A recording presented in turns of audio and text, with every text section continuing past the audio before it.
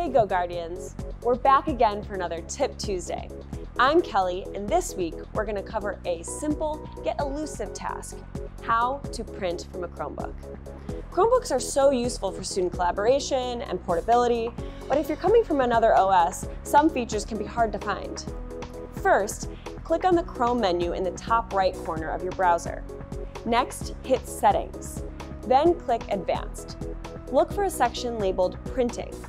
Here we have two options, Google Cloud Print or printers. Let's select printers. Now, if you've connected a printer via USB, you should see it appear here. If not, we will need to add one via the network. Click Add Printer and go ahead and give your printer a name. Now, we must enter the IP address of our printer. You can get this from your network administrator or by inspecting your printer. On our printer, we select Check Status the IP address is under the network section of machine status. IPP should do the trick in most cases. Click Add. Your printer is now connected. To print, navigate to the Chrome menu button on the top right and click Print, or hit Control P on your keyboard. If you don't see your printer in the destination drop-down list, simply click See More and choose your printer from the drop-down list.